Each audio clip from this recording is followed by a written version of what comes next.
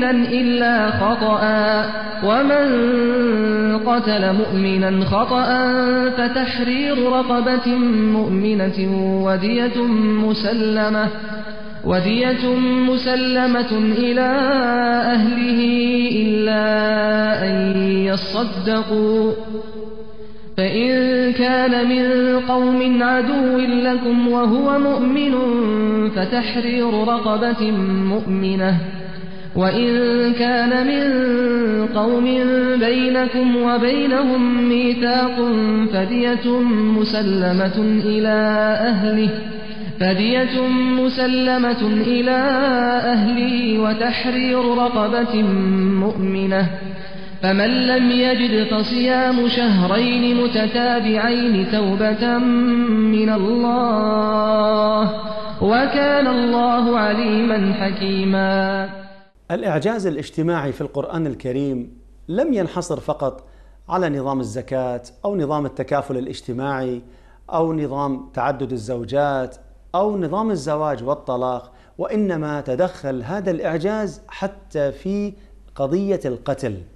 ونحن نعرف كل القوانين وكل التشريعات تفرق ما بين القتل العمد والقتل شبه العمد أو القتل الخطأ. فكل نوع من هذه الأنواع لا شك أن لها عقوبتها بحيث أن الجاني يرتدع ولا ينتشر هذا القتل في المجتمع. لما جاءت الشريعة الإسلامية فرقت ما بين عقوبة القاتل إذا كان القتل عمد وعقوبة هذا الجاني لو كان القتل خطأ. وربما الذي يتأمل في الفرق بين العقوبتين يجد أن هناك إعجاز اجتماعي في القرآن والسنة في عقوبة من قتل خطأ. وهذا التأمل حقيقة يحتاج إلى نوع من التفكير ونوع من التأمل اللي فعلا يوصلنا إلى أن الشريعة الإسلامية هدفها الأساسي صلاح المجتمع وتمسك المجتمع واستقرار المجتمع. ولذلك لو دخلنا أكثر في الأنظمة وفي القوانين لوجدنا فعلا أنه حتى في مجتمعاتنا الإسلامية اليوم ومع قلة تطبيق الشريعة الإسلامية إلا أنه حتى نسبة الجريمة القتل أقل بينما في دول الغرب في أوروبا أو في الأمريكتين أو في دول الأجنبية نجد أن نسبة القتل مرتفعة جدا لدرجة أن في نيويورك لوحدها في كل ثانية هناك جريمة قتل فلا شك أن الموضوع موضوع خطير جدا والمتأمل فيه يجد أن هناك إعجاز اجتماعي في دية القتل إذا كان القتل خطأ. يؤكد لنا المصطفى صلى الله عليه وسلم على أن كل نفس آه، قدر لها أن توجد في هذه الحياة هي في علم الله سبحانه وتعالى وكانت موجودة في صلب أبينا آدم عليه السلام لحظة خلقه. ولذلك يقول ربنا تبارك وتعالى في محكم كتابه وإذ أخذ ربك من بني آدم من ظهورهم ذريتهم وأشهدهم على أنفسهم ألست بربكم؟ قالوا بلى شهدنا أن تقولوا يوم القيامة إن كنا عن هذا غافلين. وهذا يؤكد على أن النفس يعني لها قيمة في معيار الله كبيرة. لا يجوز أن تقتل إلا بجريمة آه، تستوجب القتل ولا يجوز أن تهدر آه، ولو حتى بالخطأ آه، آه، إلا بقدر الله سبحانه وتعالى. وفي كلا الحالتين لابد من عقاب الذي اقترف هذه الجريمة لأنه كأنه أخذ شيئا من مخزون هذه الأنفس في علم الله سبحانه وتعالى. لذلك القتل العمد يعني جريمته القتل أو الجزاء عليه القتل. وكثير من دول العالم تحاول أن تحرم جريمة القتل علما بأن الذي يستشري في دمه آه، عملية القتل يصبح كنوع من الإدمان. يعني أنا كنت في أمريكا مرة في آه، واشنطن دي سي وصلت متأخرا وطبعا فرق التوقيت آه، جعل النوم يغالبني. ورغم من هذا الإخوة الذين استقبلوني في المطار أصروا أن يأخذوني في جولة في واشنطن يعني قبل أن آوي إلى فراشي يعني ف... وإحنا في أحد الميادين وجدنا نهرا من الدماء يتحرك من مطعم من المطاعم. فسألنا ما, ما هذا قال والله مجرم آه، قاتل خرج من آه، السجن اليوم. فدخل هذا المطعم آه، حجز الناس كلها بالسلاح وضعهم في الثلاجة. ونهب الأموال الموجودة في في خزينة المطعم ثم دخل على الثلاجة وقتل كل الموجودين. وهو كان خارج لتوه من السجن نتيجة لجريمة قتل. فالذي أقول الذي يستمر القتل يعني الشيطان يسوي له أنها عملية يعني يلهو بها يعني. فقاتل قتل القاتل هو عقاب إلهي لا يجوز أن نفرط فيه. ولا أن نسمع كلام الناس الذي يبدو معسولا وهو يعني يهدر حياة آلاف من الناس. الشريعة الإسلامية عندما فرقت ما بين قتل الخطأ وقتل العمد فرقت لسبب وهذا السبب فيه حكمة كبيرة وعظيمة وفيه إعجاز تشريعي وإعجاز اجتماعي. أما القتل العمد فالذي يتحمل الجريرة هو القاتل وهذا باتفاق كل القوانين والدساتير في العالم. أن الشخص إذا قتل عمد فإنه يتحمل جريرته. ولذلك الله عز وجل يقول ولا تزر وازرة وزر أخرى.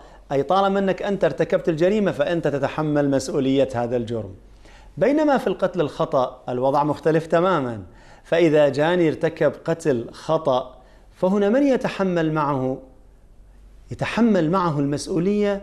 هناك مصطلح اسمه العاقلة في الشريعة الإسلامية. من هم العاقلة؟ العاقلة هم العصبة من الذكور من عائلته ويكون من الدرجة الأولى يعني إخوانه والده أعمامه اللي هم المقربين إليه الأقرب فالأقرب. ويخرج منهم يعني مثلا الأزواج لا يدخلون من ضمن العاقلة أو الإخوة من أرحام أو الأرحام نفسهم ما يدخلون من ضمن العاقلة. لكن من هو المسؤول مباشرة عن هذا الولد؟ أو هذا الجاني الوالد إخوانه أعمامه هم هم الأساس وهي العائلة القريبة ولذلك الشريعة الإسلامية في القتل العمد قالت يتحمل القاتل الجريمة في القتل الخطأ أشركت الشريعة الإسلامية العاقلة في تحمل الدية وما هي الدية؟ هو مبلغ من المال يدفع نظير هذا الجرم الذي ارتكبه فلان وهذا المبلغ يدفع لمن؟ لأهل المجني عليه يعني أهل المقتول. وهذه تسمى الدية. فلما جاءت الشريعة أولا أعطت ضوابط وشروط للدية. قالت الدية تدفع خلال ثلاث سنوات. ثانيا لو ارتكب الجرم مجنون أو طفل أو صغير ليس عليه دية. عموما هناك تفصيل لكن الذي يهمني في الموضوع أن الشريعة الإسلامية لماذا فرقت ما بين قتل العمد وقتل الخطأ في من يتحمل الدية. هذا سؤال كبير والجواب عليه يدل على أنه هناك إعجاز تشريعي وإعجاز اجتماعي في دية قتل الخطأ. إذا كان القاتل قد وقع في هذه الجريمة خطأ فطبعا لابد له من الندم على الوقوع في هذه الجريمة وإن كان لم تكن له إرادة فيها. وعليه أن يدفع الدية إذا قبلها أهل المقتول أو إذا تنازلوا عن الدية فيبقى عليه صيام شهرين متتابعين. والدية يعني نظام اجتماعي عظيم يؤكد على مسؤولية العاقلة أو العائلة أو أهل الحي أو أهل القرية أو أهل المنطقة. يعني عن جريمة تقع بقدر الله خطأ فحتى لا يتحملها الفرد وحده وقد لا تكون ظروفه المالية أو الاجتماعية تعينه على ذلك. وهي صورة من صور التكافل الاجتماعي لتحمل المسؤولية. شرعها الإسلام وأقرها هذا الدين الخاتم. وهي أيضا وسيلة تربوية راقية لأفراد المجتمع لشعورهم بمعنى الأخوة ومعنى المشاركة في المسؤولية حتى لو كانت الجريمة لم تقع بإرادة أو بقصد أو بتعمد. ويبقى السؤال مستمر لماذا الشريعة الإسلامية فرقت ما بين قتل الخطأ وقتل العمد؟ ولذلك نرى أن قتل الخطأ يتحمل المسؤولية العائلة المقربة للجاني بينما العمد يتحمله الجاني نفسه. وحتى نجيب على هذا السؤال في الجواب بيان للإعجاز التشريعي والإعجاز الاجتماعي أولا لو أن الشريعة الإسلامية قالت بأنه من يتحمل الدية في القتل الخطأ هو الجاني نفسه فإن في ذلك حرمان للفقراء وكأن الشريعة الإسلامية نزلت للأغنياء فقط لماذا؟ لأنه دية القتل الخطأ كم؟ مئة من الإبل. يعني تخيل لو شخص قتل آخر بالخطأ يعني أراد أن يصطاد طير فجاءت الطلقة في فلان. أو كان يسوق سيارة مثلا بسرعة ودهس فلان فتوفى. ماذا عليه؟ أن يدفع مئة من الإبل. طيب مئة من الإبل آه، هذه الثروة أعلى من مستوى الفرد. يعني اليوم إحنا في مجتمعاتنا من يملك مئة من الإبل؟ لو قلنا أنه الإبل الواحد على سبيل المثال بألف دينار. طيب مئة من الإبل يعني مئة ألف دينار. وإذا كان هالإبل نوعيته يعني ضعيفة قول 500 دينار. طيب 500 دينار. في 100 من الإبل كم صار؟ 50 ألف دينار. طيب 50 ألف دينار يعني 150 ألف دولار. من يملك اليوم من المسلمين في شعوبهم وفي مجتمعاتهم 150 ألف دولار. من يملك هذا؟ فهذه آه، المبالغ وهذه الثروة أعلى من مستوى الفرد. وبالتالي حتى تكون الشريعة عادلة لم تحمل الجاني هذا المبلغ وإنما من حملت؟ حملت العاقلة. أهله يجتمعون ثم يقررون هذا المبلغ ثم يعطون هذا المبلغ لأهل المجني عليه. وفي التالي الشريعة الإسلامية هنا ساوت بين الأغنياء والفقراء في قضية الدم. وهذه نقطة جوهرية وإعجاز تشريعي. الأمر الآخر أن الشريعة الإسلامية لم تستثني من القاعدة ولا تزر وازرة وزر أخرى إلا هذا الجرم القتل الخطأ. هو الوحيد اللي الشريعة الإسلامية قالت أنه إذا ارتكب هذا الجرم فإنه يتحمل آه، تعويض هذا الجرم العائلة كلها وليس الفرد طيب لماذا؟ إذا كان شخص كان يسوق سيكل ولا يسوق سيارة ودهس شخص لماذا أنا أحمل أبوه وأمه وإخوانه ليش؟ ليش؟ بالتحليل تبين أن القتل الخطأ لا يخرج إلا من سببين إما إهمال أو رعونة. والإهمال والرعونة سببهم سبب تربوي. يعني الأهل الوالد والإخوان والأعمام لم يحسنوا تربية هذا الشاب المتهور أو هذا الشاب الأرعن أو هذا الشاب المهمل اللي بإهماله أو برعونته أو بتهوره قتل شخص بالخطأ. فلذلك رب العالمين أوجب الدية. ليس على القاتل خطأ فقط وإنما على كل العائلة. لماذا؟ حتى تتأدب العائلة وتربي أبنائها تربية حسنة. ولذلك حتى في قضية محاسبة هذا الشخص وكيفية توزيع الدية فيها تشريع تربوي ربما سنتناوله بعد قليل بإذن الله.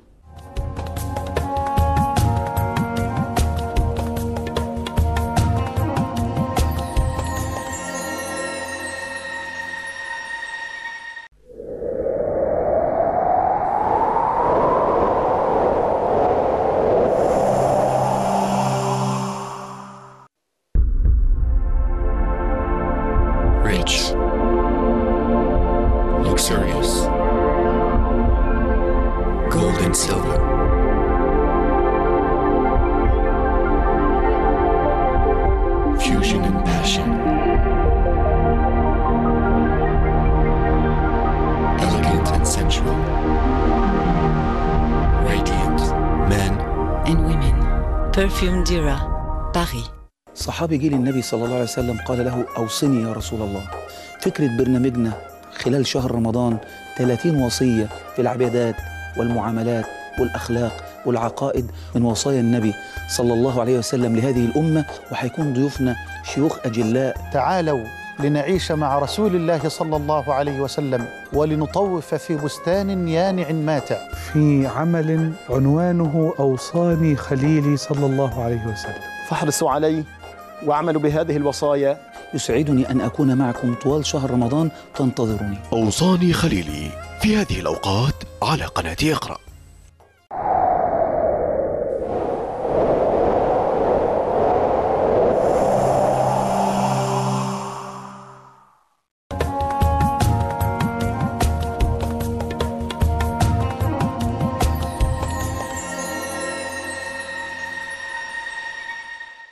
يروج في العالم الآن أنه من قبيل الرحمة يجب منع آه، يعني العقاب بالإعدام.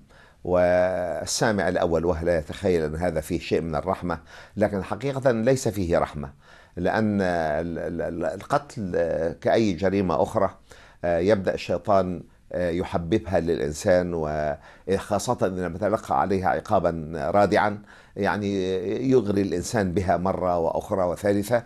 والشخص الذي ليس عنده عقيدة آه، في أنه سيبعث وسيحاسب وسيجازى على أعماله في هذه الدنيا يعني يغريه الشيطان بمزيد من القتل ومزيد من سفك الدماء ويصبح عنده شهوة لإراقة الدماء وهذا حاصل في الغرب. آه، لكن طبعا لو قتل القاتل المتعمد يعني تقطع دابر هذه العملية بالكامل.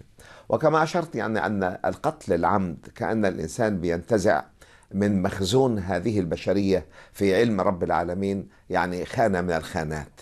لأن آه، سيدنا رسول الله صلى الله عليه وسلم يقول ما من نفس منفوسة إلا ولها في علم الله كتاب.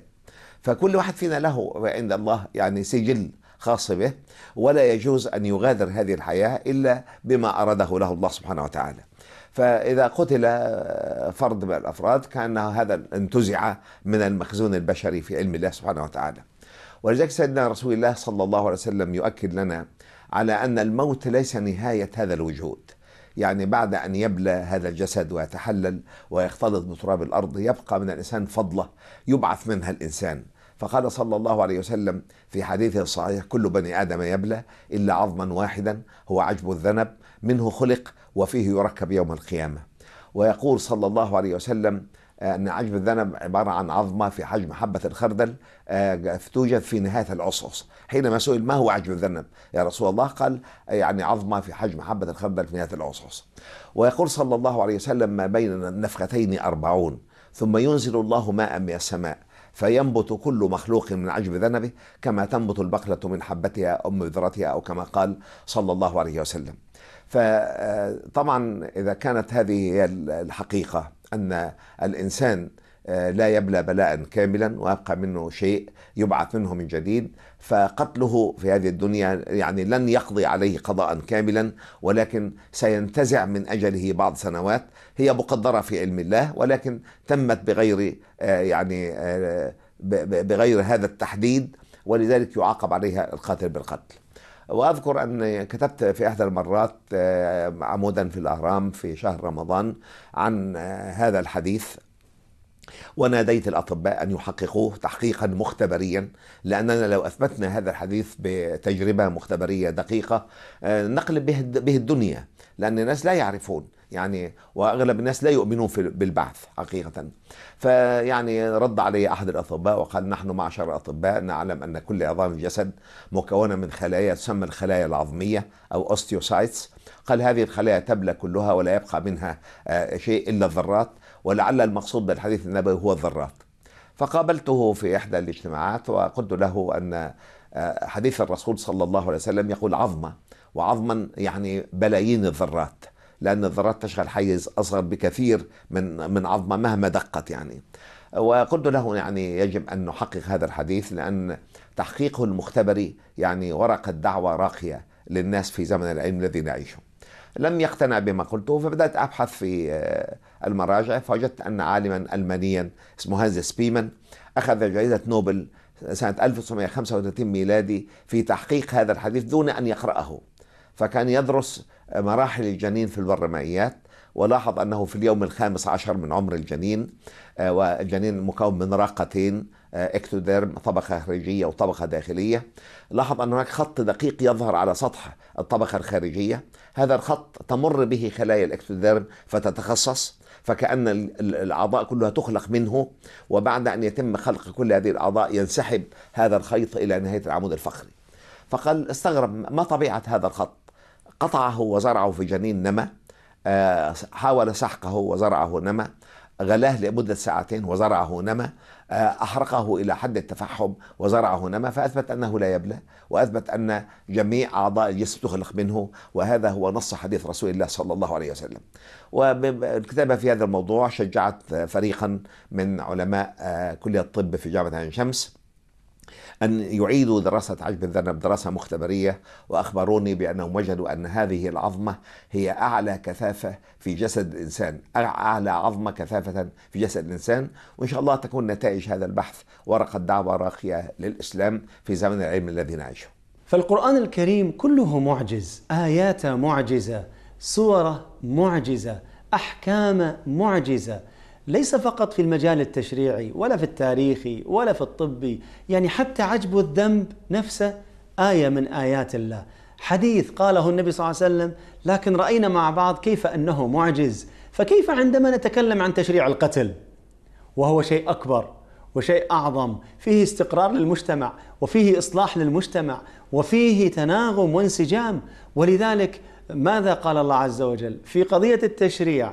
وفي قضية القتل قتل الخطأ من يتحمل الدية؟ العاقلة وكيف يتم تقسيم الدية؟ أولا تجتمع كلها تخيلوا معي هذا المنظر أن العاقلة تجتمع وفيهم الجاني يمكن عمره 17 18 يمكن عمره 25 30 المهم رجل أو شخص قتل خطأ إما بسبب إهمال أو رعونة وكل العائلة موجودة الأعمام والجد والأب والإخوان مجتمعين وهذا الجاني بينهم وقاعدين يتباحثون مع بعض كيف يوزعون الدية لأنها مئة من الإبل. قلنا أقل ما فيها خمسين ألف دولار هذه أقل ما فيها. هذه إذا ما كان أكثر. طيب كيف يوزعونها؟ فيقول والله فلان عليه حصة كذا وفلان عليه الحصة الكذا وفلان عليه الحصة كذا. طبعا تخيلوا هذا الاجتماع اللي قاعد يصير بالعاقلة والجاني موجود. كيف نفسيته؟ وقاعد يشعر هو أن كل العاقلة مجتمع علشانه وعلشان الجريمة اللي هو سواها. مو بس كذي. وتشوفون عيال خالته وعيال عمته وعيال عمه كلهم قاعدين معه وقاعدين يشوفونه بعيونهم. فموقف تربوي حقيقة مؤثر جدا. يعني موقف جدا عظيم. أنا في واحدة من المؤتمرات مرة كنت مع واحد أجنبي وكنت أشرح له الحالة. ما صدق. قال الله وكان متعجب. قال هكذا الإسلام. فعلا القضية ليست قضية حد أو قانون بقدر ما هي رحمة وتربية. وهذا لا شك إعجاز اجتماعي عظيم. نحن نتكلم في القتل الخطأ وإذا بنا الآن نتحدث عن الرحمة ونتحدث عن البعد التربوي ونتحدث عن البعد الاجتماعي فكما أننا نتكلم عن عجب الذنب أو عن الإعجاز العلمي في القرآن فكذلك لو أكثرنا من الأبحاث والدراسات في الآيات القرآنية في المجال الأسري والتربوي والاجتماعي والله لاكتشفنا كنوز ولذلك نحن سعداء في هذا البرنامج الذي يقدم لأول مرة على شاشة إقرأ الإعجاز الاجتماعي في القرآن والسنة.